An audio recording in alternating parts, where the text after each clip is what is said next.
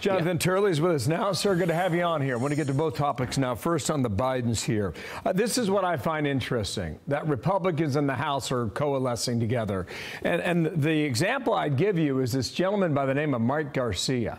He represents a Bi heavily Biden district in California. He's a Republican. He won, however, and his quote was, They've made it clear they won't cooperate unless we formalize it, so let's formalize it. So if and when they do, what changes then? What powers would they have in Congress?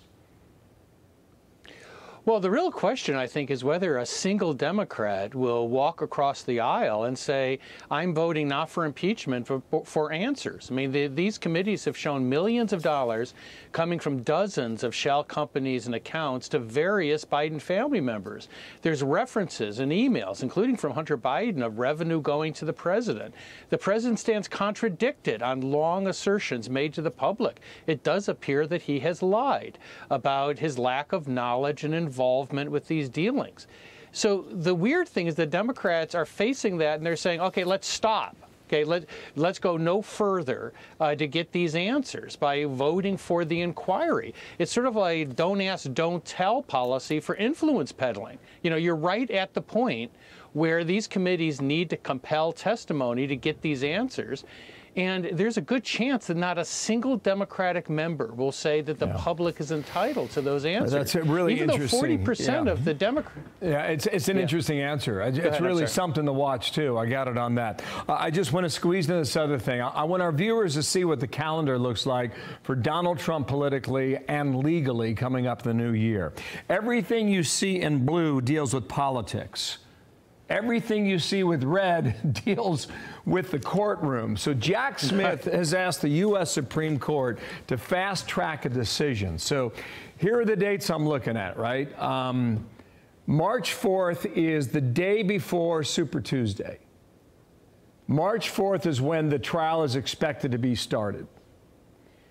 The justices have asked Trump's lawyers to give them an answer by the 20th of December, about nine days from now. The court will meet again on the 5th of January. What is the question before the court, Professor?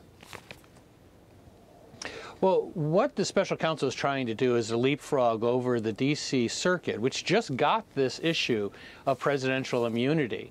Normally, the court wants to hear from not one but multiple court of appeals. What Smith is saying is, let's skip that. I need an answer now.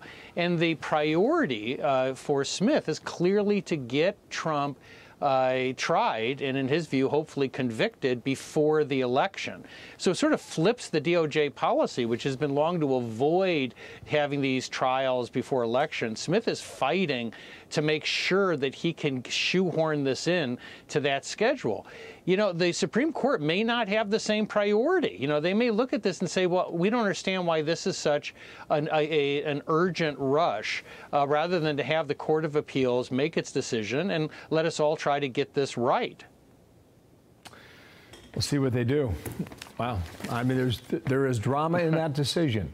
Thank you, sir. Jonathan Turley, for shaking that out with us today. Thank you, Bill. Nice to see you. I'm Steve Doocy. I'm Brian Kilmeade. And I'm Ainsley Earhardt. And click here to subscribe to the Fox News YouTube page to catch our hottest interviews and most compelling analysis.